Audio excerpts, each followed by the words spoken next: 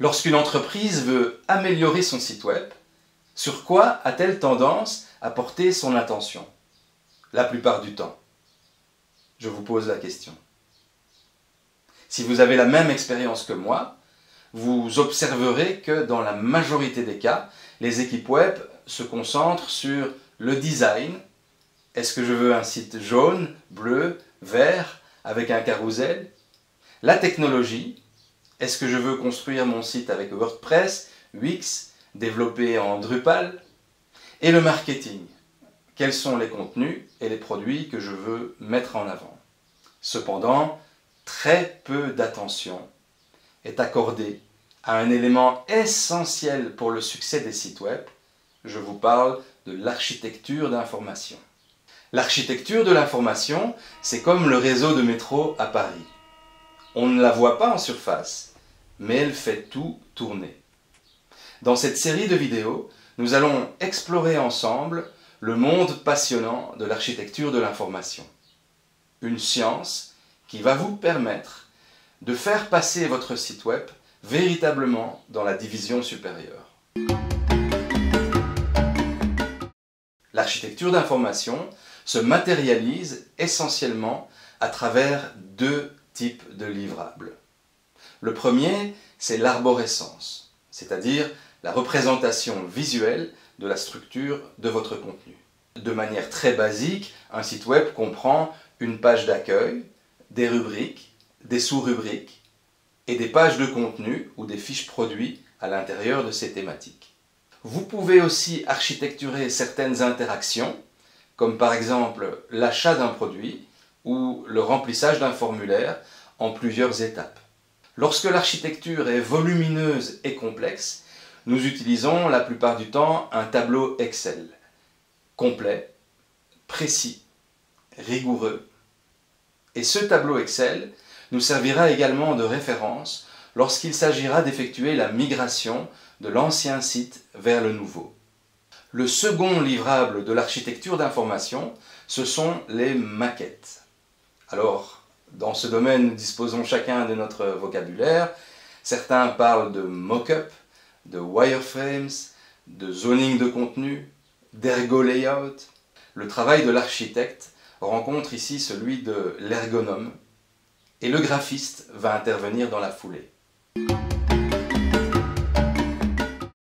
L'architecture d'information impacte tous les aspects de votre site web. Premièrement, la qualité de l'expérience utilisateur, et tout particulièrement la facilité à naviguer dans votre site web. C'est la dimension UX de l'architecture. Avec notamment l'importance de maîtriser le nombre de points d'entrée dans les menus, le nombre de clics pour accéder à l'information, et surtout la clarté des libellés. L'architecture d'information impacte également votre référencement, car Google analyse votre sitemap pour se faire une idée de la sémantique sur laquelle vous vous positionnez.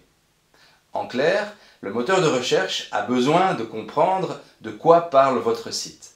Et il va s'intéresser de très près à votre architecture pour cartographier votre offre de contenu. L'architecture d'information influence également la perception de votre offre de service. Les premiers points d'entrée sur lesquels tombent vos visiteurs vont donner une image de ce que vous offrez.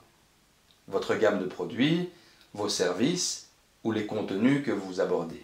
Enfin, l'architecture de contenu va impacter le coût de maintenance de votre site web.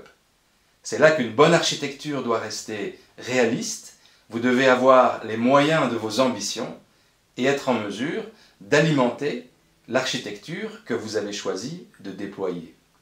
Donc, vous voyez que l'architecture d'information a un impact énorme sur de nombreux aspects de la réussite de votre site web.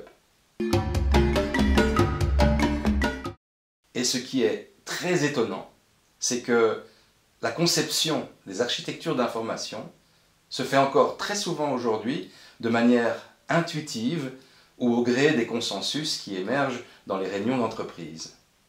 Or, il existe aujourd'hui des techniques qui nous permettent de construire une architecture d'information de manière scientifique.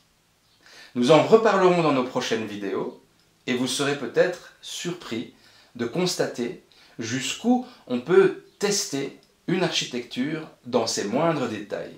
Ce n'est pas pour rien qu'on parle d'architecture, vous pouvez clairement faire la comparaison avec un bâtiment. On peut facilement installer un bungalow dans une prairie, mais si votre objectif est de construire une tour de 40 étages où les gens vont circuler, il va vous falloir des fondations solides, des ascenseurs et une signalétique bien claire à l'intérieur du bâtiment. Si vous gérez un site de 10 pages, vous pouvez faire les choses à l'intuition. Mais si vous administrez un site de 1000 ou 10 000 pages, il vous faut impérativement des fondations solides et une réelle maîtrise d'ouvrage. Tout comme les ingénieurs construisent des tours qui résistent au temps, les architectes d'information que nous sommes s'appuient sur des techniques scientifiques pour concevoir des sites web volumineux qui tiennent la route dans la durée et dans lesquels les gens vont trouver leur chemin. Dans nos prochaines vidéos, nous allons vous expliquer comment maîtriser la bête et dompter des sitemaps de 1000 ou 10 000 pages. Je vous dis à très bientôt.